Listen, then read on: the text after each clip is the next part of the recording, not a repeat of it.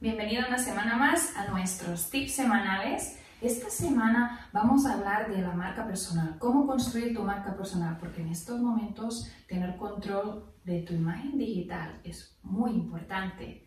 El tip de esta semana es construir tu story, esa historia que conecta con la audiencia. Explica tu historia personal para poder conectar con tu audiencia. Tu story es, es como esa mirada atrás en la que explicas de dónde vienes y cómo lograste estar donde estás hoy. Abre la puerta de la confianza, comparte tu dolor, tus victorias. Deja que la audiencia se identifique contigo. Ese es el verdadero poder de la story cuando construyes tu marca personal online.